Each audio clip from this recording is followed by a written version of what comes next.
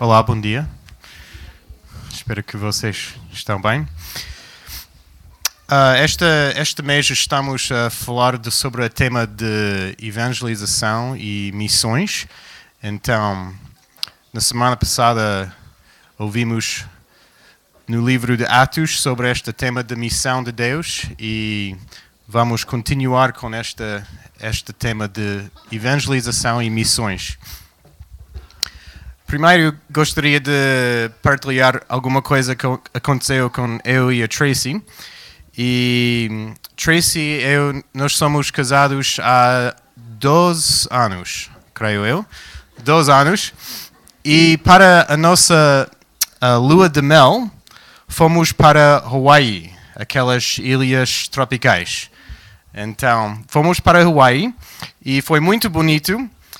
E tivemos, esta foi há dois anos, então tivemos uma máquina de fotográfica que usava um rolo de filme.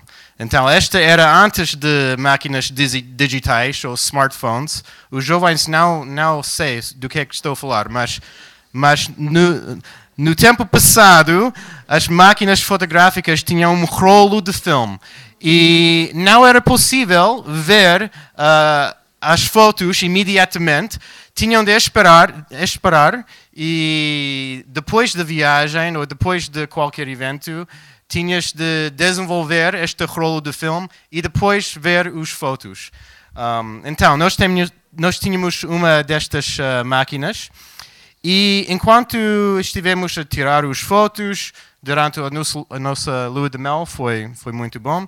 Mas, depois, quando as fotos foram desenvolvidas, percebemos que quase todos delas eram desfocados. Quase todos, quase todos. Então, não sei se havia alguma coisa com a máquina, a, a função do foco não estava a funcionar bem, mas foi muito triste.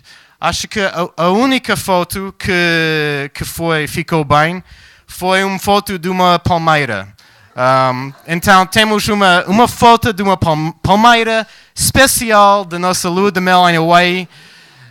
Em Califórnia há muitos palmeiras também, então, mas esta é uma foto especial para nós. A única foto da nossa lua de mel. Então, estava a pensar e acho que às vezes a igreja pode ser semelhante àquela máquina de fotográfica. Às vezes nós como igreja podemos perder o foco do que estamos a fazer, uh, perder o foco da, da missão que, que Deus nos deu. E isto é normal. Acho que é normal no meio da vida da igreja, ao longo dos anos, com as nossas atividades, que às vezes perdemos o foco.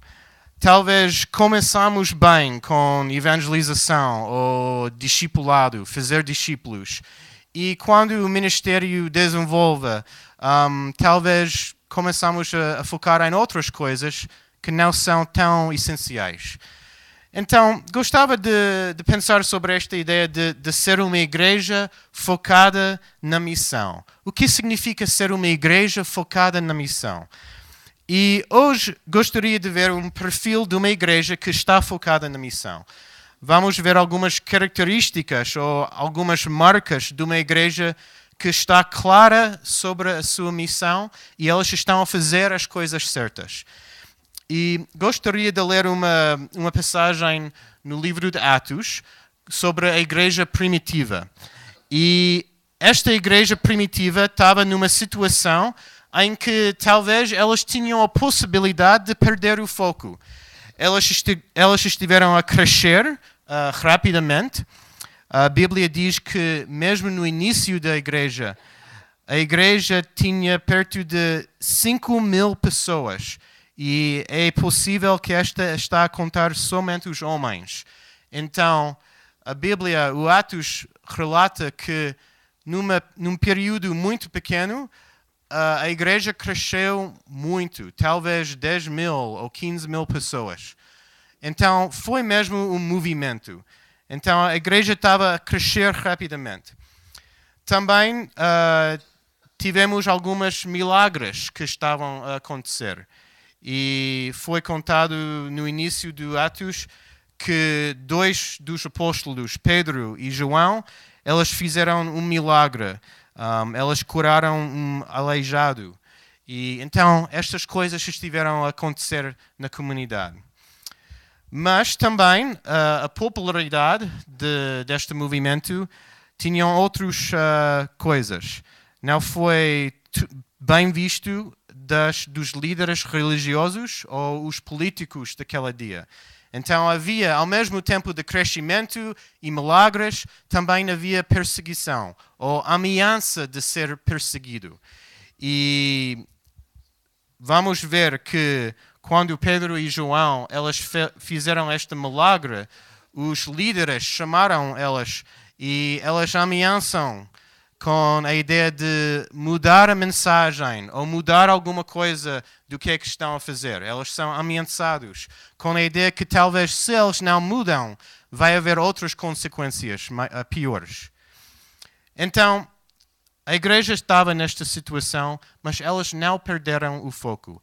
Elas ficaram claro uh, sobre o que é que elas tiveram uh, de fazer. Então, vamos ver este perfil de uma igreja que está focada. Então, gostaria que vocês abram as Bíblias para o livro de Atos, capítulo 4 e versículo 23. O livro de Atos, Atos vem depois dos evangelhos, Mateus, Marcos, Lucas, João, depois Atos. Se vocês estão em Romas, é o livro antes de Romas. Atos capítulo 4, versículo 23. Atos 4, 23. Então, vamos ver um perfil de uma igreja que está focada na missão e algumas características. E a primeira coisa que podemos ver é que uma igreja focada na missão confia no plano de Deus. Uma igreja focada na missão confia no plano de Deus. Elas confiam nos propósitos de Deus e no que é que Deus está a fazer. Então vamos ler. Versículo 23. Quando Pedro e João foram postos em liberdade, voltaram para junto dos companheiros e contaram-lhes tudo o que os chefes dos sacerdotes e os anciões lhes tinham dito. Depois de terem ouvido, oraram todos juntos a Deus e disseram: Vamos parar aqui. Então, Pedro e João, elas foram postos em liberdade, elas foram imediatamente para a comunidade, para a igreja, e qual foi a primeira coisa que elas fizeram? Elas oraram todos juntos. É interessante, com estas preocupações, estas ameaças, a primeira reação da igreja primitiva era orar. E não orar simplesmente sozinho, mas todos juntos. Esta palavra juntos é interessante, é uma palavra específica em grego que é, é usado somente 12 vezes no Novo Testamento e 11 vezes são no livro de Atos. Tem uma ideia especialmente de solidariedade e unidade para alguma coisa.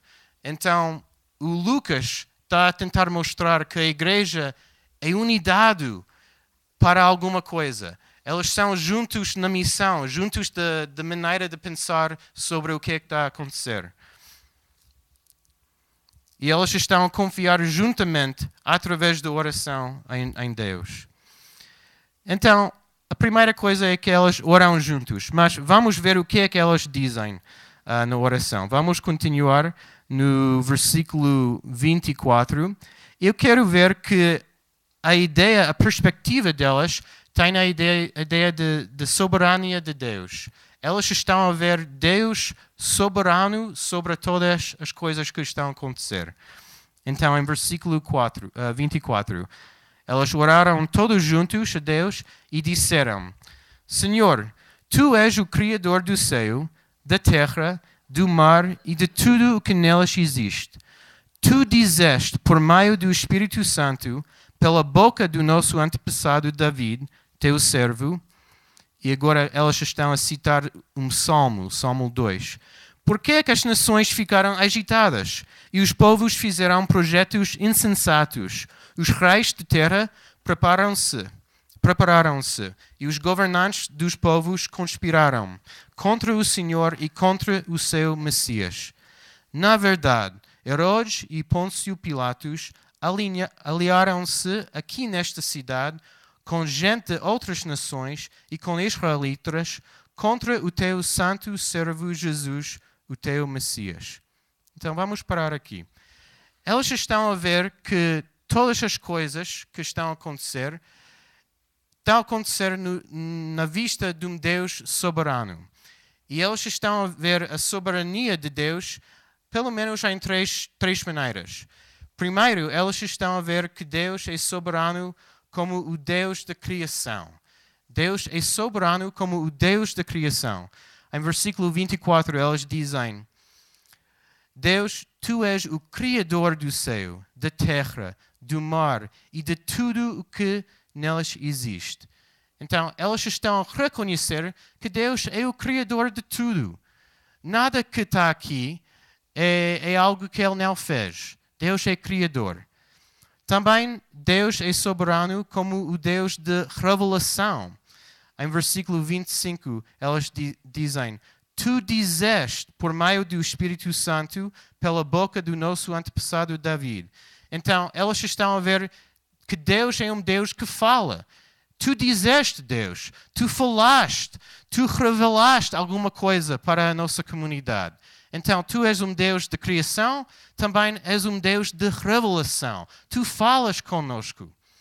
E, ultimamente, ela é um Deus da história. Ela age na história. Versículo 27. Na verdade, Herodes e Pôncio, Pilatos aliaram-se aqui nesta cidade com gente de outras nações e com israelitas contra o teu uh, santo servo Jesus, o teu Messias então, elas estão a ver o que é que está a acontecer nesta situação. Alguma coisa está a acontecer entre nós. Mas, mas o que é que. Esta é fora do plano de Deus? Não, versículo 28. Desta maneira realizaram tudo aquilo que tu, Deus, pelo teu poder e sabedoria, já tinhas decidido que ia acontecer. Então, Deus é soberano na história. Ele já, já tinha já sabia que esta ia acontecer e já tinhas decidido que isso, isso ia acontecer. Então, a soberania de Deus sobre esta situação, como um Deus de criação, um Deus de revelação, um Deus que age na história, é, é a perspectiva da comunidade. Esta é a maneira em que elas podiam confiar no plano de Deus. Então, qual é a aplicação para nós? Este, este primeiro ponto. Quando nós estamos em situações confusas ou difíceis, temos de confiar no plano e no propósito de Deus na nossa vida. E acho que estas três qualidades, Deus de criação, Deus é o nosso Criador. O salmista, em Salmo 139, diz: Senhor, tu examinaste-me e conheces-me. Conheces todos os meus movimentos à distância sabes os meus pensamentos. Deus é o, é o nosso Criador. Ele sabe tudo acerca de nós. Ele sabe os nossos pensamentos, as nossas preocupações, os nossos desejos, medos, as nossas manias. ele, ele, ele, percebe tudo isso. Ele é o nosso Criador. Também Ele fala conosco. Deus fala conosco, conosco através da Bíblia principalmente, acho que através da Bíblia, mas também através de, da comunidade. Deus fala através da Bíblia, Ele, Ele revela coisas para, para nós, para que nós podemos confiar nele. E também Ele está a agir na nossa situação. Acho que é interessante que elas, elas usam o exemplo da crucificação de Jesus. Elas disseram que ainda nesta situação, quando o, seu servo Jesus foi crucificado, ainda nesta situação, Deus, tu és soberano. Tu sabias que isso ia acontecer. Então, no ato mais injustiça da história do mundo, Deus estava completamente no controle da situação. Não sei o que é que tem acontecido na vossa vida, mas Deus está a agir e vai continuar a agir através de, das coisas que aconteceram e vão acontecer nas nossas vidas.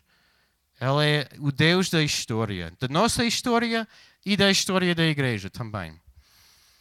Então, elas são uma igreja focada na missão porque elas confiam no plano de Deus. Elas confiam através da oração e através desta perspectiva de, de soberania de Deus.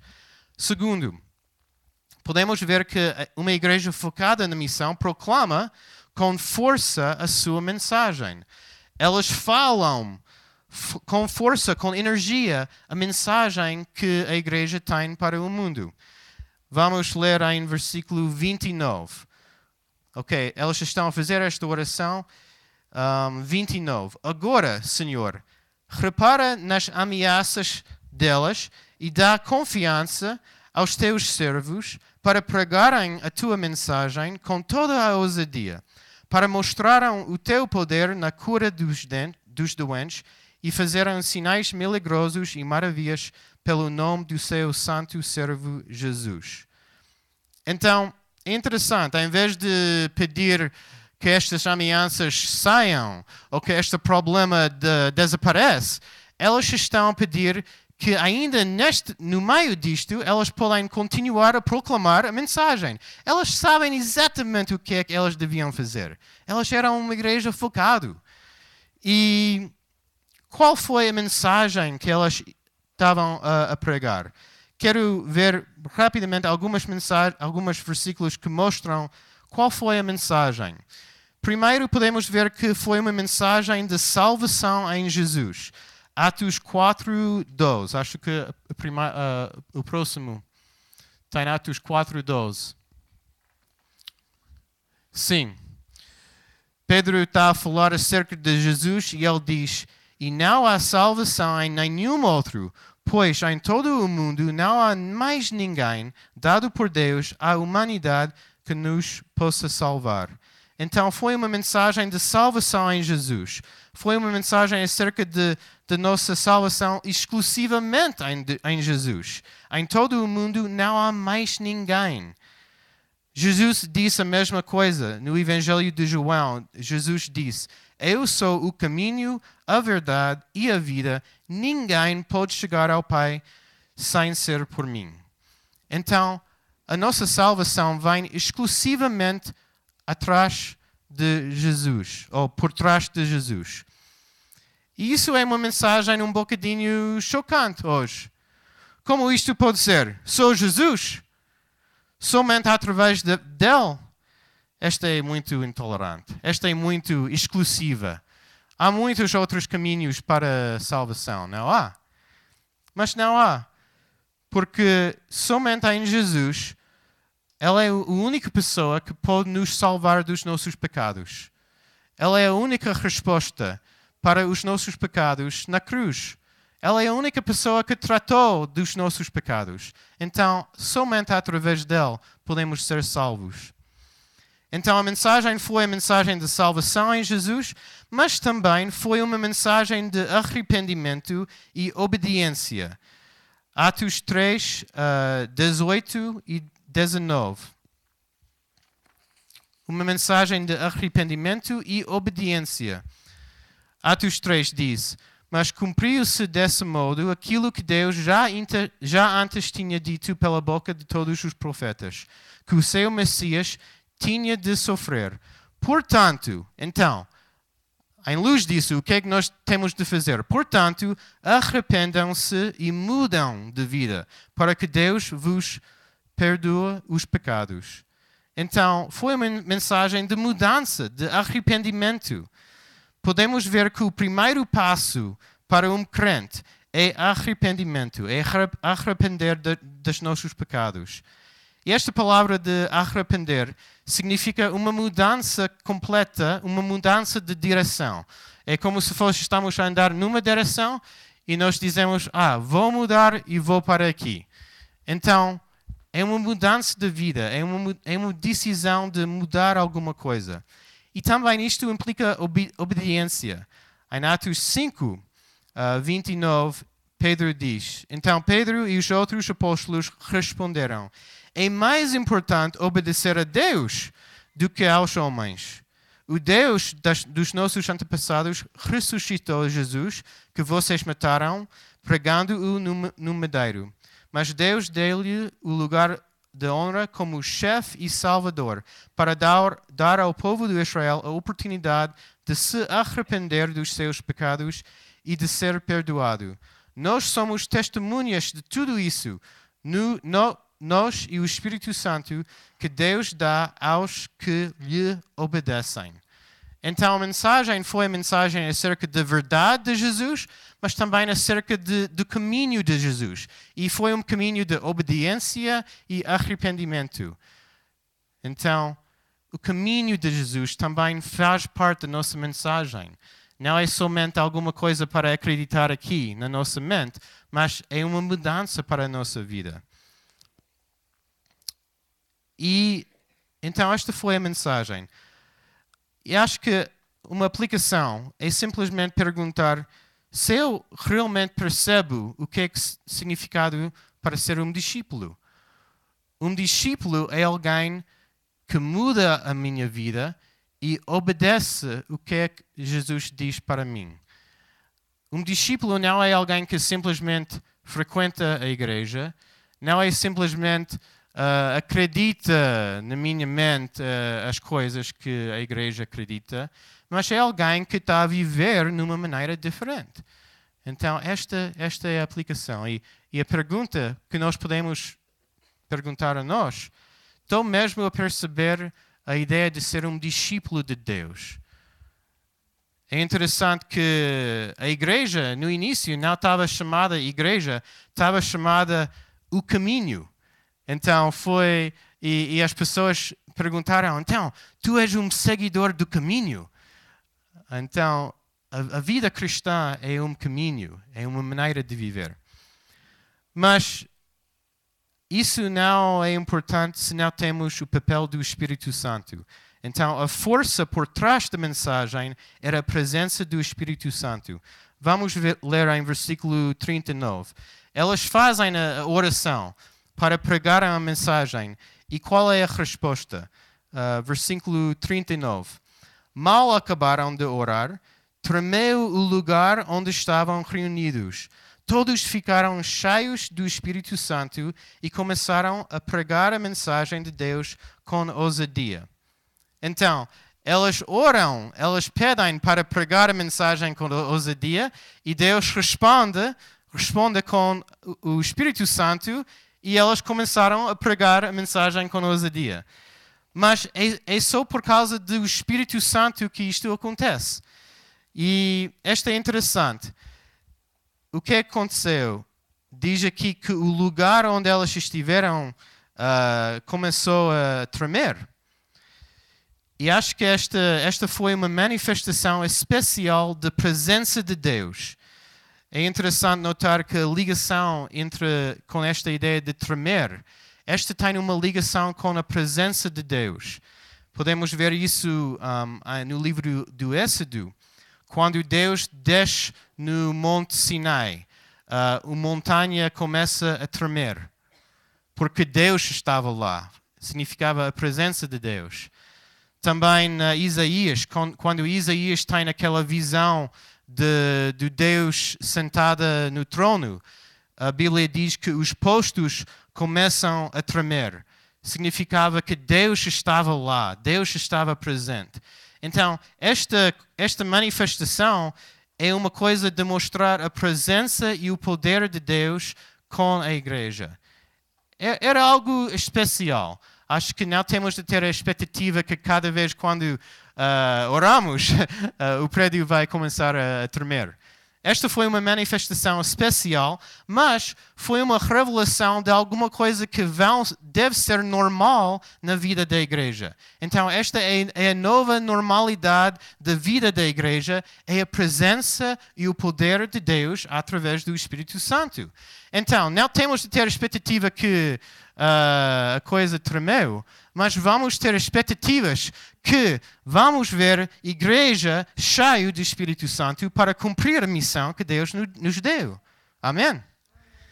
Então, esta é a nossa nova normalidade da vida do dia a dia da igreja e da crente. Alguém que está enchido do Espírito e está, pelo poder e presença de, de Jesus, está a fazer e cumprir a missão de Deus. Um, um escritor conhecido nos Estados Unidos, Francis Chan, ele escreveu um livro sobre o Espírito Santo. E o título diz tudo. O título do livro sobre o Espírito Santo é O Deus Esquecido. O Espírito Santo, o Deus Esquecido. Porque acho que hoje em dia esquecemos do papel do Espírito Santo. E especialmente nos meios mais conservadores, acho que temos medo do Espírito Santo.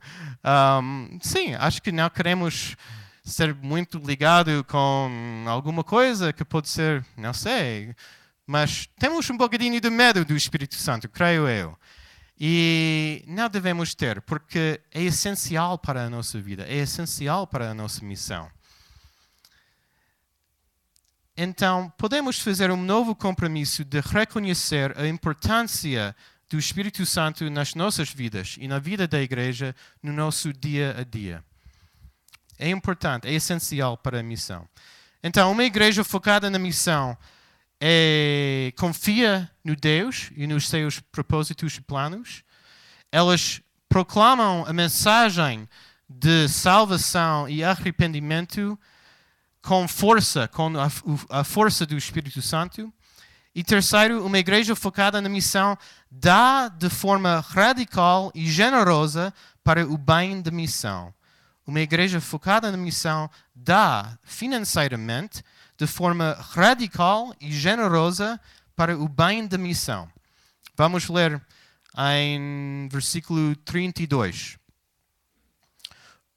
Os crentes viviam perfeitamente unidos.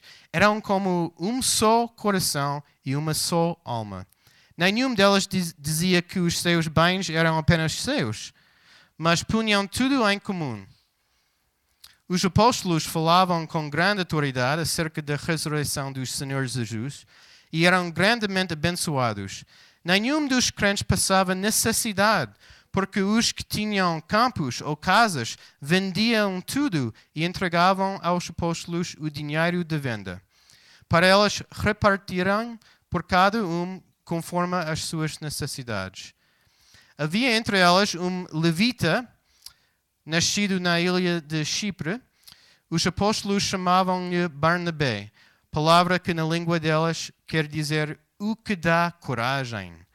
Esta vendeu uma propriedade que possuiu e entregou o dinheiro aos apóstolos. Ok, esta é um, uma parte desafiadora. E é interessante porque elas mostram a solidariedade e unidade e também a maneira como que elas partilharam todas as coisas, vendiam casas para dar às pessoas e para dar à igreja. Então, aqui acho que temos de evitar duas extremas. E o teólogo John Stott diz que neste experimento de, de, de Jerusalém devemos evitar posições extremas. Não podemos dizer que este exemplo é completamente irrelevante para nós hoje em dia. Não podemos dizer isso.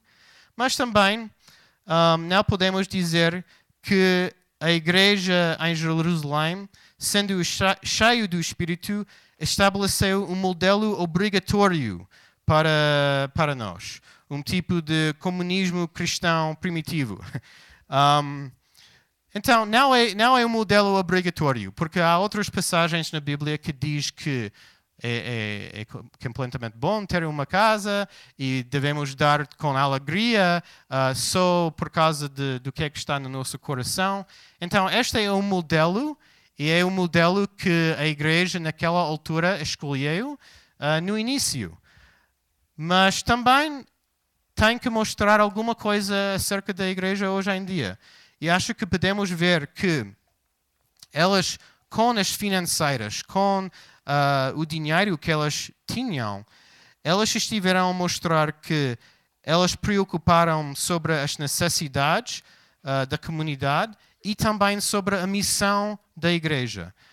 Um, e Barnabé aqui é apresentada aqui como um modelo discípulo, porque ele mostra compromisso para a missão da igreja, tanto como a preocupação para o bem das outras crentes.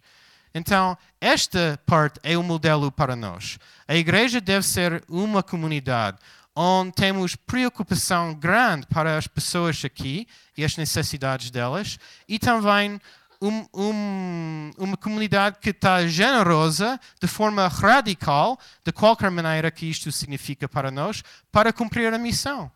Então, este é o modelo que nós devemos seguir.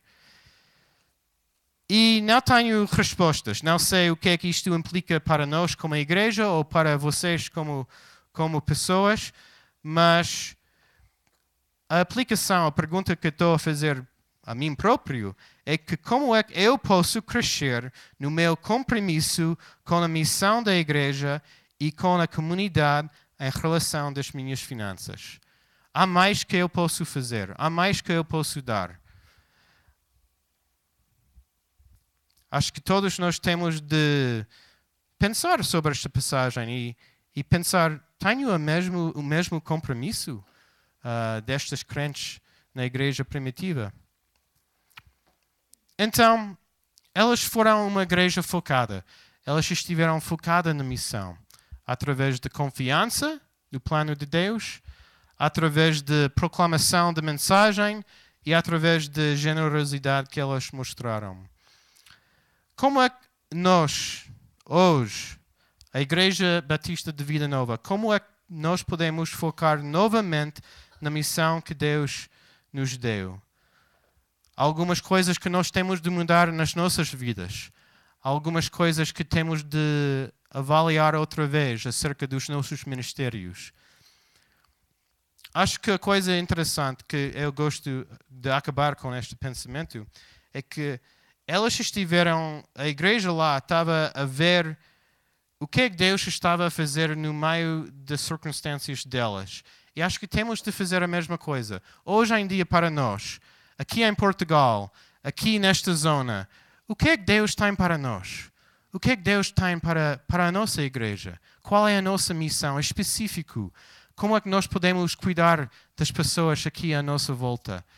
Uh, alguma coisa que temos de de proclamar de uma maneira diferente aqui em Portugal, não sei. Mas esta é, é, é a aplicação para nós. Então, é só isso. Acho que vamos acabar e gostaria de chamar o, o Kim para fazer uma oração para nós, como igreja, que podemos. Deus pode ajudar-nos a perceber, uh, com o poder do Espírito Santo, uh, como é que podemos focar e ser uma igreja focada na missão. Queridos irmãos, eu, quando ouvi esta mensagem,